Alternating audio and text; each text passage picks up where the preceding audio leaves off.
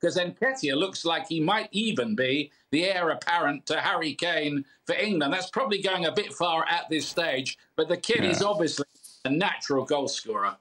I, I, don't. I don't think people. I mean, who's waiting for the bubble to burst? No, I want. Um, what my point. I'm quite intrigued by that.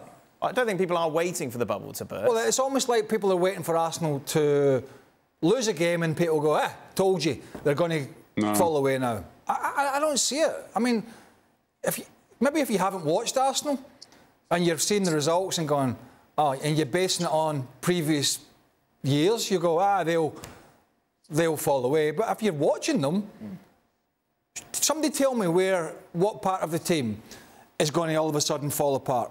And Nketiah's come in, and we talked about this the other day. I think they've actually looked even better with him in the side. He actually but spends a, he actually spends a lot of time in the box. And that's why he's getting himself goals.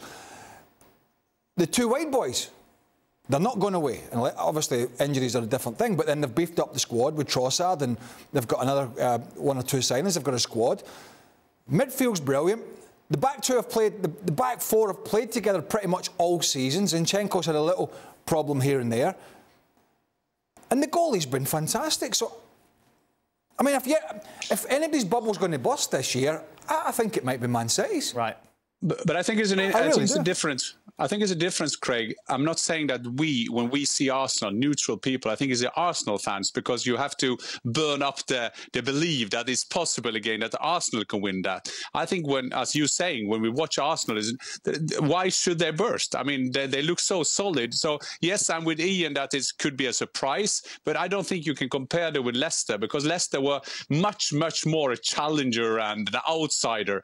Arsenal, they are playing fantastic football at the moment. And when you compare them with Manchester City and when you compare Arteta with Pep Guardiola, you can say at the moment that maybe Arteta playing a better Pep play than Pep is doing at the moment. Uh, I mean, Leicester was a phenomenon, but it showed you how much of a, a phenomenon it was when Ranieri got sacked the next year. so it, it, it, it was it, was an unbelievable high and then an unbelievable low because they couldn't sustain that. There's no sign. Well, even if Arsenal finish second, if that happens, it happens, right? It, it's, it's not, everything's not over this year if they don't get it done. This side are not going away. This manager's not going away. These are pretty much a lot, most of them are young Good players.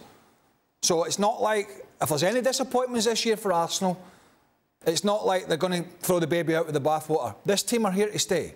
That's for sure. Well, thank you very much for watching ESPN on YouTube. For more sports highlights and analysis, be sure to download the ESPN app. And for live streaming, premium content, and let's not forget as well, ESPN FC seven days a week. Subscribe to ESPN Plus.